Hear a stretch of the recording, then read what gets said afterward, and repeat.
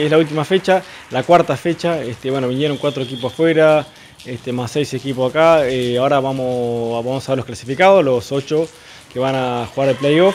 Esto va a ser el primero, ahora la semana siguiente de diciembre en el Negra Barrio Nuevo. Así que bueno, nosotros teníamos los gimnasios, los dos gimnasios ocupados, bueno, gentilmente nos cedieron eh, ese gimnasio para, para hacer la final.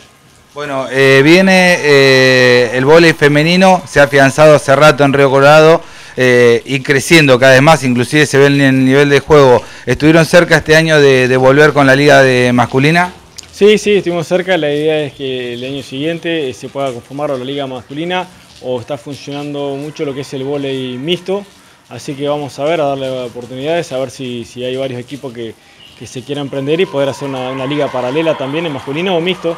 Sí, esta liga de femenino, como decía, viene creciendo día a día, las exigencias son mayores en cuanto a todo, organización, arbitraje, el rendimiento de las chicas, y bueno, nosotros siempre tratamos de aportar lo mejor para que salga todo lo mejor posible.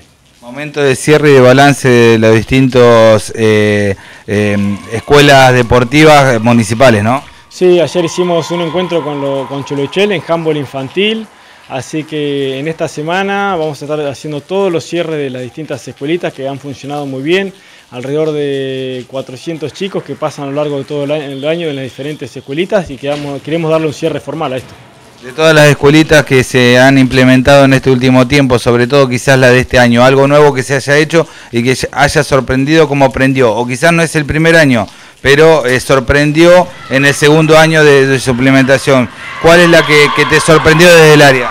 Y la que más me sorprendió es la de golf últimamente porque eh, tenemos mucha demanda y estar muy entusiasmados, sobre todo son eh, gente bueno, adulta, jóvenes también este, y algunos chicos. Están muy entusiasmados y tenemos que ya estamos eh, jugando en otro predio, muchos ya se compraron su bolsa de palos, este, tenemos, ahora contamos con 800 pelotitas de golf, la verdad que creció impresionante en estos 3-4 meses que estuvimos.